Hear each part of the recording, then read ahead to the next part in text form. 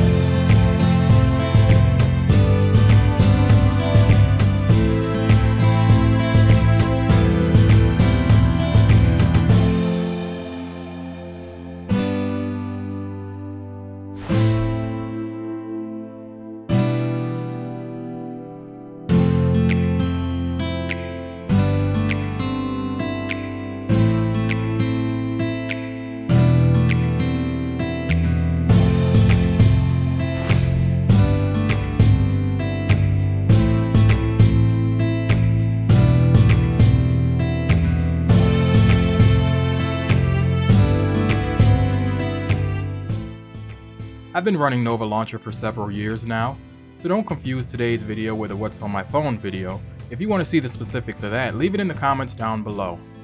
If you'd like to try out my minimal setup, you can find the backup files for Nova Launcher and the required app links down below. If any of the apps are paid, I'll try to note that in the description as well. Since many of you are always curious about my setup, how about sharing yours and have it featured on the channel?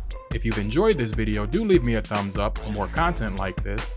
And by the way, I've got one more video coming tonight, so if you're new to the channel, go ahead and click that subscribe button while you're at it.